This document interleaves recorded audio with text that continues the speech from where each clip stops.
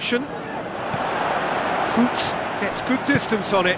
And a Herrera plays it out to the wing. Mertens goes pulsing down that left-hand side.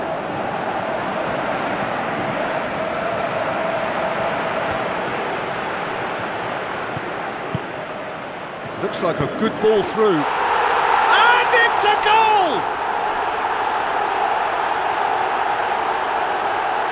And as soon as they made that error in midfield, they didn't have time to react before the ball hit the net. Very much a lesson learned.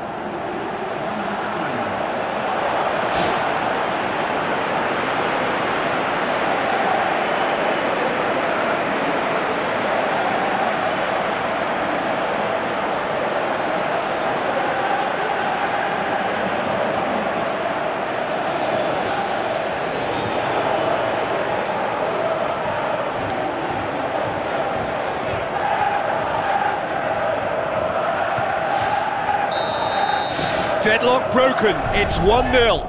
And that ought to be the trigger for a really exciting and